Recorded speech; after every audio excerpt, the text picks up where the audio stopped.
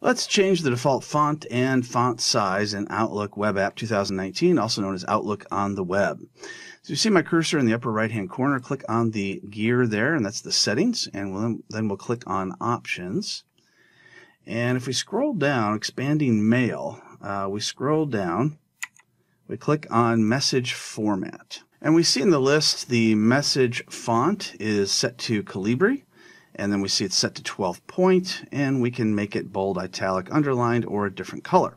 So let's change and we'll just choose anything that's in the list here. And we can see the sample text will change along with it. And then we'll change to a different size. Of course, that size might be a little big. You can go with bold and you can even change the color if you want. And when you have it the way you want it, you just go ahead and click the Save button. Now let's go and take a look and see what that does. So if we click on New Email and we start typing,